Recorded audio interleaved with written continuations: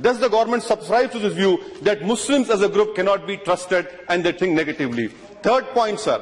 The third point, chairman of Joint Intelligence Committee in White House Summit of Counter-Terrorism have rightly said India's core strength is liberal, secular, plural democracy. But I would like to know from the government that will this government, if it believes in secular, plural democracy, will it appeal against the trial court judgment of December 30 from the Mumbai trial court, which had given a leeway, a temporary leeway to the ruling party president? Will Kausar be, who's my sister, who was raped, drugged, and murdered and her body was burned and thrown into a river. Will this government, which talks about maximum go uh, uh, uh, governance, minimum or whatever it is, will you appeal against that trial court judgment? I would like to know from the government through you, sir, when you talk about that sabka saath, sabka vikas, is your basic tenet of your government. Why is it? And when you talk about freedom of religion, February 17, Prime Minister's statement, freedom of religion, but within a week, his spiritual, his intellectual, his ideological guru made an obnoxious statement about a Nobel laureate. We want to know from you to the government, where does the truth lie? Does the truth lie with the Prime Minister of the Constitution? Does he still talks about Constitution? Or the truth lies with what his spiritual, ideological mentor Guru is saying. We want to know from the Prime Minister where the truth lies. Sir, the third point which I want to know from the government is, if what the Prime Minister says is right, he believes in freedom of religion, then what is happening in Kushinagar, Uttar Pradesh? 150 Muslim families have been forced to leave their house. Why? Because the good old person who's there. Sir, I want to know, why isn't this government able to control a cancer doctor, an oncologist who's spreading not his but his cancerous communalism throughout the country? Why is the government quite on it?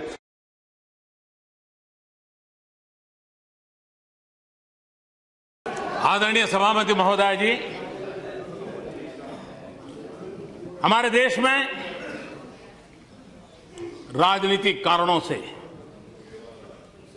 संप्रदाय का जहर घुलता चला जा रहा है और आज से नहीं चला जा रहा है लंबे अरसे से चला जा रहा है, जिसने देश को तबाह करके रखा हुआ है, दिलों को तोड़ने का काम किया है। लेकिन सवाल हमसे पूछे जा रहे हैं, हमारी भूमिका क्या है? मैं आज जरा इस सदन को कहना चाहता हूँ, सत्ताईस अक्टूबर 2013 मैं पटना में था, गांधी मैदान में था। बम धमाके हो रहे थे। निर्दोष लोग मौत के घाट उतारे गए थे। लाखों की जनमेदनी थी। बड़ा ही कलुषित माहौल था। रक्त की धाराएँ बह रही हैं। उस समय जब इंसान के हृदय से बातें निकलती हैं वो सच्चाई के तराजू पर शत प्रतिशत सही निकलती है। उसमें कोई लाग लपेट नहीं होता है। बम बंदूक के बीच रक्त बह रहा था लोग मर रहे थे। उस समय मेरा जो भाषण है और उसमें मैंने कहा था कि मैं कहना चाहता हूँ मैं पूछना चाहता हूँ कि बताइए हिंदुओं को किसके साथ लड़ना है? क्या मुसलमान के साथ लड़ना है? कि गरीबी के साथ लड़ना है? मैं मुसलमानों को पूछता था क्या आपको हिंदुओं को लड़, साथ लड़ना है कि गरीबी के खिलाफ लड़ना है? और मैंने कहा था आइए बहुत लड़ लिया। हिंदू मुसलमान एक होकर के हम गरीबी के खिलाफ लड़ाई। हिंदुओं को किसके साथ लड़ना है? क्या मुसलमान के साथ लड़ना है? कि गरीबी के साथ लड़ना है? मैं मुसलमानों को पूछता था क्या आपको हिंदुओं को लड़, साथ लड़ना है? कि गरीबी के खिलाफ लड़ना है। और मैंने कहा था आइए बहुत लड़ लिया। हिंदू मुसलमान एक होकर के हम गरीबी के खिलाफ लड़ाई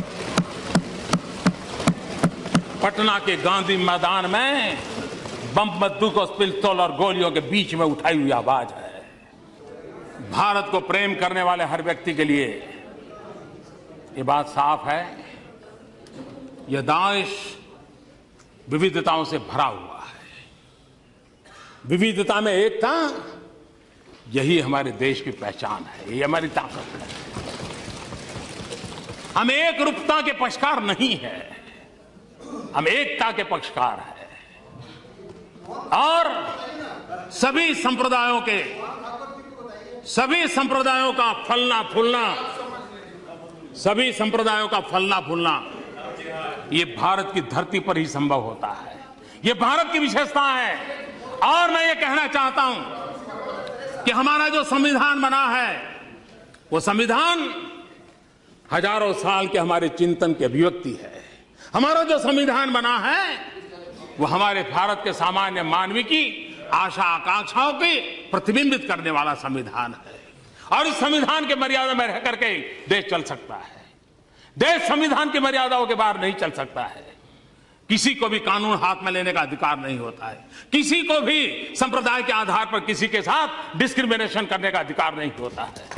हर एक किसी को अपने साथ चलने का अधिकार है। और मेरी जिम्मेवारी है, मेरी जिम्मेवारी है, सरकार में बैठा हूँ, सरकार कैसे चलेगी उसकी जिम्मेवारी है।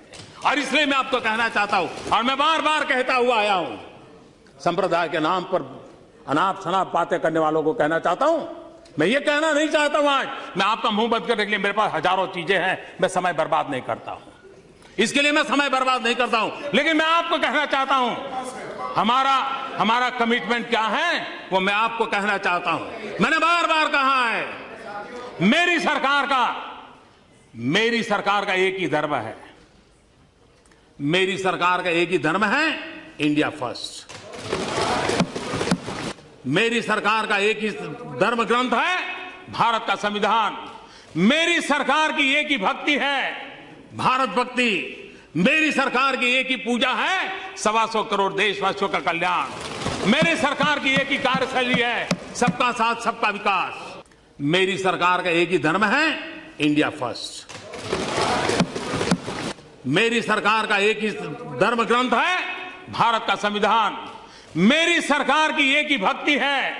भारत भक्ति, मेरी सरकार की एक ही पूजा है। सवा सौ करोड़ देशवासियों का कल्याण।